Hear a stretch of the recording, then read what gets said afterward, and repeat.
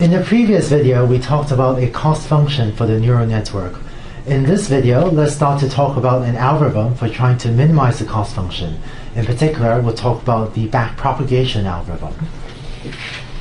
Here's the cost function that we wrote down in the previous video.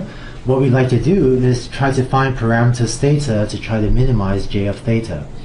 In order to use either gradient descent or one of the advanced optimization algorithms, what we need to do, therefore, is to write code that takes as input the parameters theta and computes j of theta and these partial derivative terms. Remember that the parameters of the neural network are these things, theta superscript L subscript ij, that that's a real number. And so these are the partial derivative terms we need to compute. In order to compute the cost function j of theta, we just use this formula up here. And so what I want to do for most of this video is focus on talking about how we can compute these partial derivative terms. Let's start by talking about the case of when we have only one training example. So imagine, if you will, that our entire training set comprises only one training example, which is a pair xy. I'm not going to write x1, y1, just write, just write out one training example as xy. And let's step through the sequence of calculations we would do with this one training example. The first thing we do is we apply forward propagation in order to compute what our hypothesis actually outputs given this input x. Concretely, remember, recall that A1 is the activation values of this first layer, that is the input layer, so we're going to set that to x and then we're going to compute z2 equals theta 1 a1 and a2 equals g, the sigmoid activation function applied to z2, and this would give us our activations for the first hidden layer, that is for layer 2 of the network. And we also add those bias terms. Next, we apply two more steps of this forward propagation to compute A3 and A4, which is also the output of our hypothesis h of x. So this is our vectorized implementation of forward propagation and it allows us to compute the activation values for all of the neurons in our neural network. Next, in order to compute the derivatives, we're going to use an algorithm called backpropagation. The intuition of the backpropagation algorithm is that for each node, we're going to compute the term delta superscript L subscript J that's going to somehow represent the error of node j in layer L. So recall that A superscript L subscript j, that that's the activation of the jth unit in layer L. And so this delta term is in some sense going to capture our error in the activation of that node or sort of how we might wish the activation of that node were slightly different. Concretely, taking the example neural network that we have on the right, which has four layers, and so capital L is equal to 4, for each output unit, we're going to compute this delta term. So delta for the jth unit in the fourth layer is equal to just the activation of that unit minus what was the actual value observed in our training example. So this term here is can also be written h of x subscript j right? So this delta term is just the difference between what our hypothesis outputs and what was the uh, value of y in our training set, where this y subscript j is the jth element of the vector value y in our labeled training set. And by the way, if you think of delta a and y as vectors, then you can also take this and come up with a vectorized implementation of it which is just delta 4 gets set as a4 minus y. Where here, each of these, delta 4, a4, and y, each of these is a vector whose dimension is equal to the number of output units in our network.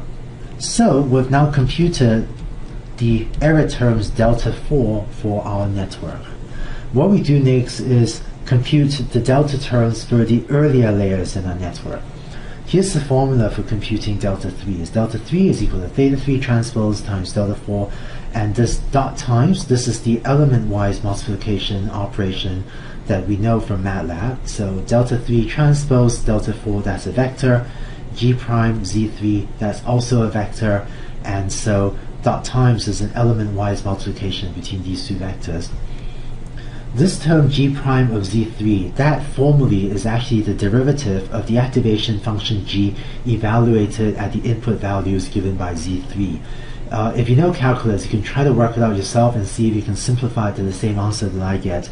But um, I'll just tell you pragmatically what that means. What you do to compute this g prime, these derivative terms, is just a3 dot times 1 minus a3, where a3 is the vector of activations, 1 is the vector of ones, and uh, a3 is, um, again, the activation, the, the, the vector of activation values for that layer. Next, you apply a similar formula to compute delta 2, where again that can be computed using a similar formula, only now is A2, like so.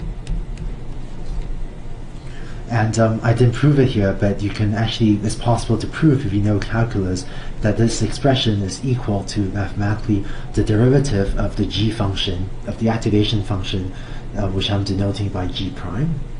And uh, finally, that's it. And um, there is no delta 1 term because the first layer corresponds to the input layer, and that's just the features we observed in our training set. So that doesn't have any error associated with it. It's not like you know we don't really want to try to change those values.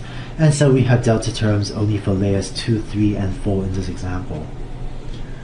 The name backpropagation comes from the fact that we start by computing the delta term for the output layer, and then we go back a layer and compute the delta terms for the third hidden layer, and then we go back another step to compute delta 2. And so we're sort of backpropagating the errors from the output layer to layer 3 to layer 2, hence the name backpropagation. Finally, the derivation is um, surprisingly complicated and surprisingly involved, but if you just do these few steps of computation, is possible to prove via, frankly, somewhat complicated mathematical proof. It's possible to prove that um, if you ignore regularization, then the partial derivative terms you want are exactly given by the activations and these delta terms. Uh, this is ignoring lambda, or alternatively, if the regularization term lambda were equal to zero. We'll fix this detail later about the regularization term. But so by performing backpropagation and computing these delta terms, you can, you know, pretty quickly compute these partial derivative terms for all of your parameters. So this is a lot of detail. Let's take everything and put, put it all together to talk about how to implement backpropagation to compute derivatives with respect to your parameters. And for the case of when we have a large training set, not just a training set of one example. Here's what we do. Suppose we have a training set of m examples like that shown here.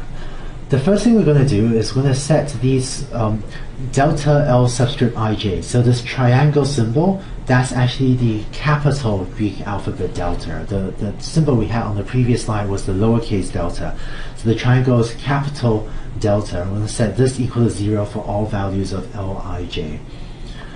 Eventually, this capital delta Lij will be used to compute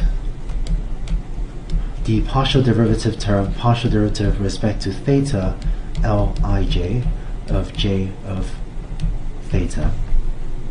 So as we'll see in a second, these deltas are going to be used as accumulators that will slowly add things to in order to compute these partial derivatives. Next, we're going to loop through our training set. So we'll say for i equals 1 through m, and so for the ith iteration, we're going to be working with the training example xi comma yi.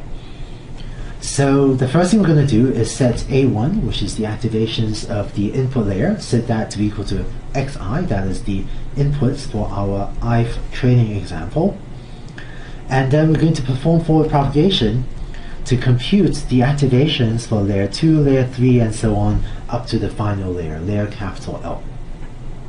Next, we're going to use the output label yi from the specific example that we're looking at to compute the error term delta L for the output layer. So delta L is what the hypothesis output minus what the target label was. And then we're going to use the backpropagation algorithm to compute delta L minus 1, delta L minus 2, and so on down to delta 2. And once again, there is no delta 1 because we don't associate an error term with the input layer. And finally, we're going to use these uh, capital delta terms to accumulate these partial derivative terms that we wrote down on the previous slide. And by the way, if you look at this expression, it's possible to vectorize this too. Concretely, if you think of delta ij as a matrix indexed by subscript ij, then if delta L is a matrix, you can rewrite this as delta L gets updated as delta L plus lowercase delta L plus 1 times A L transpose. So that's a vectorized implementation of this that automatically does this update for all values of i and j. Finally, after executing the body of the for loop, we then go outside the for loop and we compute the following. We compute capital D as follows. And we have two separate cases for j equals 0 and j not equals 0. The case of j equals 0 corresponds to the bias term. So when j equals 0, that's why we're missing this uh, extra regularization term. Finally, while the formal proof is pretty complicated, what you can show is that once you've computed these d terms, that is exactly the partial derivative of the uh, cost function with respect to each of your parameters. And so you can use those in either gradient descent or in one of the advanced optimization algorithms. So that's the backpropagation algorithm and how you compute derivatives of, of your cost function for a neural network. I know this looks like it was a lot of details and this was a lot of steps strung together, but uh, both in the programming assignments right out and uh, later in this video, we'll give you a summary of this so that you can have all the pieces of the algorithm together so that you know exactly what you want need to implement if you want to implement backpropagation to compute the derivatives of your neural network's cost function with respect to its parameters.